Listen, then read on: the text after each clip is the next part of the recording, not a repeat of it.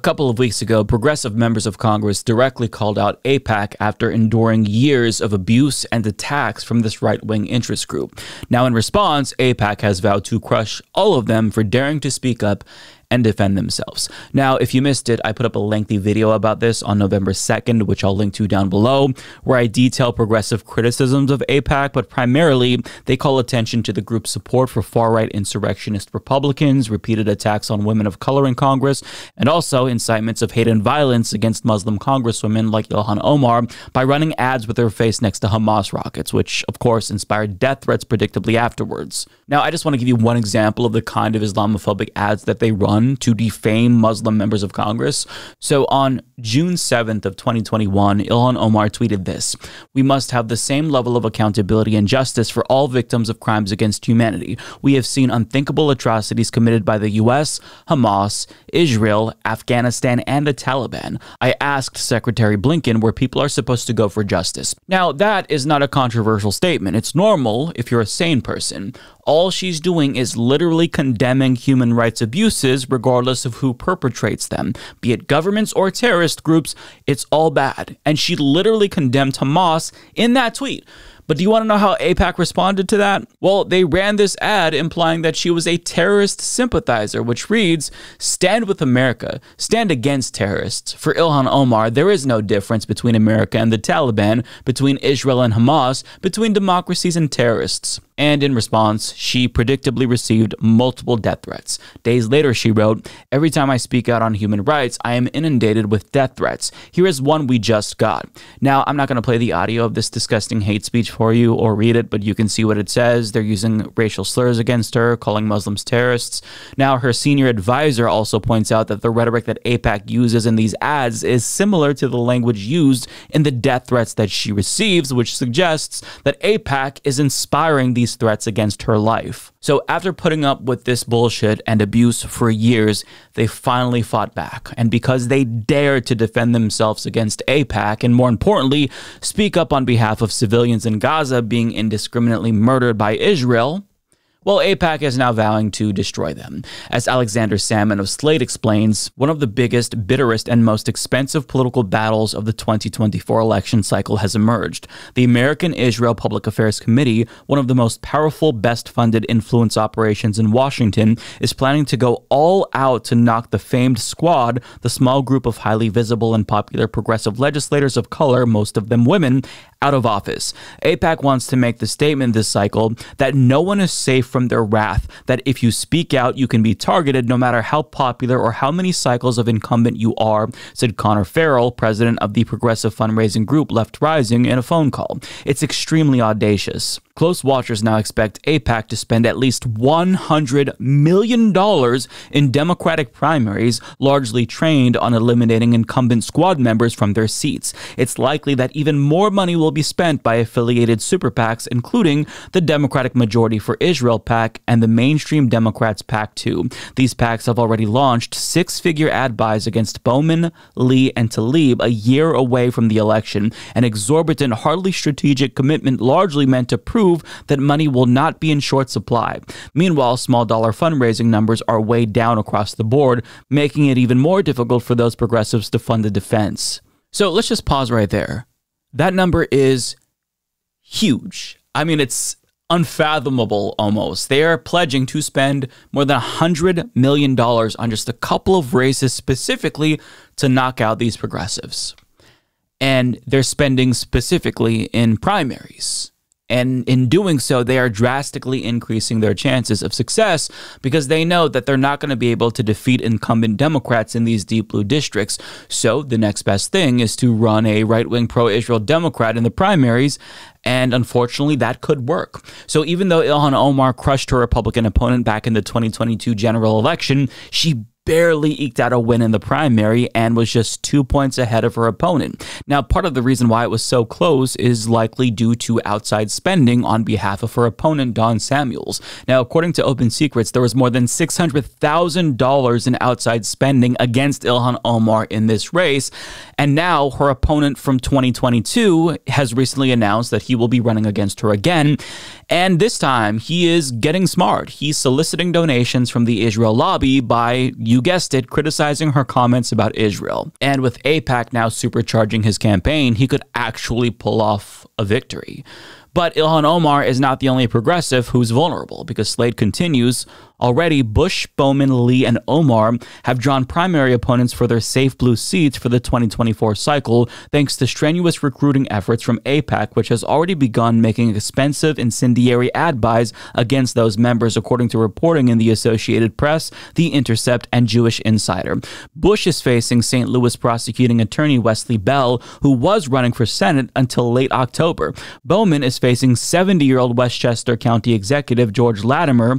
Lee is facing facing perennial candidate Bhavini Patel. Omar is facing a rematch with Minneapolis City Council member Don Samuels, former Illinois congressional candidate Sarah Gad, and military vet Tim Peterson. Jewish Insider has reported that AIPAC is still feverishly recruiting for a challenger for Tlaib as well, and is reportedly still looking for primary challengers for Presley and Ocasio Cortez. So if they're not already being primaried, they're going to be, and AIPAC is going to make sure of that and also make sure that their opponents are well funded.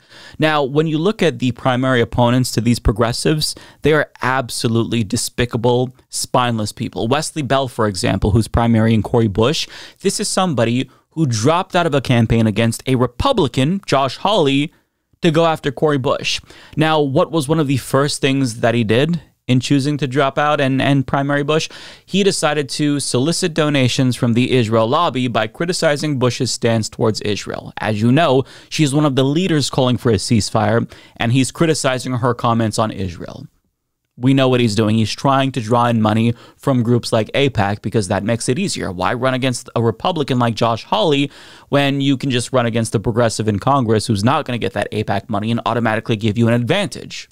This is what they're doing. Now, to be clear, I'm not against primary challenges in theory. In fact, I think that political primaries strengthen democracy and they should happen, but they need to be organic and they need to be grassroots primaries. When a primary is forced by a well funded special interest group that lobbies on behalf of a foreign government, that to me is not democracy. That's a completely different thing. That is the opposite of democracy. That is forcing progressives like Cori Bush and Rashida Tlaib, who raise money exclusively from small dollar grassroots donors, to go up against political behemoths who have millions and millions of dollars to spend virtually unlimited money to defeat them. And no special interest group spending money in elections is something that's good, but it feels like this in particular is foreign interference to me when you have a lobby that represents the interests of a foreign government that we don't pay taxes to, influencing these elections, influencing our democracy, that to me is foreign interference. Now, thankfully, the leader of the House Democrats, Hakeem Jeffries,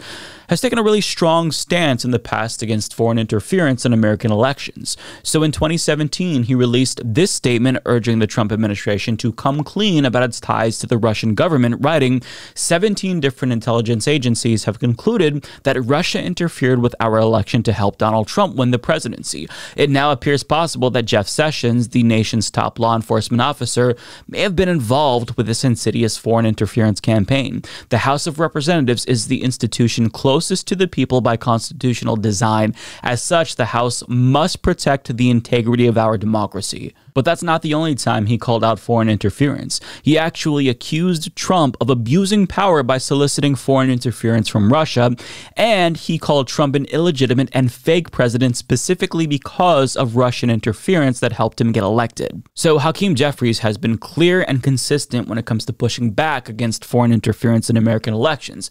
And since he's now become the leader of the Democratic Party, I am sure that he's going to use his power and influence to fight back against attacks on his own members by this interest group that lobbies exclusively at the behest of a foreign government, right? Well, actually, no, he's not doing that. Slate continues So far, House Democratic leadership has been quiet about all of this. Minority Leader Hakeem Jeffries, who took more money from the Israel lobby in 2022 than any other group and is featured prominently on the lobbying group's website alongside House Republican leadership, hasn't tried to dissuade the primarying of these progressive Democratic incumbents. He could easily publicly disavow such spending and make it clear to candidates that accepting such support is against caucus policy. In 2019, House Democrats made an official policy to blacklist any Democratic consultant or political group who aided a progressive challenger against a sitting Democratic incumbent ahead of the 2020 elections. But so far, Jeffries has only managed to say outside groups are going to do what outside groups are going to do. I think House Democrats are going to continue to support each other. It's strange, sitting quietly by while a Republican funded outside group lays waste to a popular group of incumbents would invite a host of disastrous risks and would crucially jeopardize Jeffries' own campaign to retake the House. He certainly can't be House Majority Leader if AIPAC knocks Democrats out of their races, and it will try. In 2022, AIPAC spent millions on a conservative Democrat to oppose Summer Lee in her 2022 primary race. After failing to knock her out, the group continues to spend against her in the general election, helping her Republican opponent and nearly costing Democrats the seat. So let me get this straight. Hakeem Jeffries is willing to make an exception for foreign interference when it comes to Israel, since their lobby is funding him, and literally jeopardize the Democratic Party's chances of retaking the House in 2024, all to appease this right wing interest group. Am I getting this right? I mean, this is supposed to be the Democratic Party leader, but he's effectively controlled opposition at this point. And that's not an unreasonable accusation since he was holding hands and singing Kumbaya with Christo fascist Republican Speaker Mike Johnson at Tuesday's pro Israel rally. I mean, does he represent Republicans or does he represent Democrats? More importantly, does he represent Israel or does he represent America? Because to remain quiet as they announce their intent to knock members of his own party out of office, that makes him complicit, especially since he's the leader. He's like a boxer who's paid to lose the match. It's it's fucking outrageous. But it's not surprising because if you've been following along, Hakeem Jeffries has a history of hostility towards the left, as Sharon Zhang pointed out in this article for Truthout. He even told The Atlantic, There'd never be a moment where I bend the knee to the hard left democratic socialism. So, if he has a history of hating leftists as much as Republicans hate leftists, is it really that absurd to think that he'd prefer one of his largest donors replace members of the squad with more conservative Democrats who are more compliant, or even a Republican? I mean, I personally don't think it is, especially considering the fact that they're already proving to be a thorn in the side of corporate stooges and Israel sycophants like him. For example, at the pro Israel rally where he chummed it up with Republicans, anti Semitic pastor John Hagee was also there. This is somebody who blamed Jewish people for the Holocaust, and Summer Lee drew attention to this on Twitter, writing, I'm deeply concerned that members of both parties shared a stage yesterday with noted anti Semitic bigot John Hagee. This must be condemned. So ask yourself this question Don't you think it makes sense that he'd prefer to not have progressives like this in Congress who inconveniently point stuff like this out or call for a ceasefire? Of course. So he wants AIPAC to do what they're doing. That's why he's being quiet. It's a choice, right? So we're in the situation where the squad's bravery could actually cost them reelection. And I don't think that AIPAC is going to be able to take out all of them. But even if they're able to take out one or two of them. I think that that's awful because the goal is to grow the number of progressives in Congress, not lose more of them. So we've got to do two things. First and foremost, we've got to stand in solidarity with members of the squad and donate to them if we're able to. And second of all, we need to shame Hakeem Jeffries into doing his fucking job and defending his party. That is what you are supposed to do as leader of the Democratic Party. You are supposed to defend members of your party. So if he's going to refuse to acquiesce, then maybe he's the one who should get a primary challenger. You know, it would be difficult to defeat him because he's the leader, he has lots of money. You don't become the leader without being a good fundraiser, but it's happened before. Remember, Joe Crowley, who was supposed to be in Hakeem Jeffries' position right now, was knocked out by AOC in a Democratic primary back in 2018. So if he's going to functionally do the bidding of Republicans and take money from right wing organizations that support Republicans, then he needs to be exposed for the GOP plant that he is, and he definitely needs to be primaried.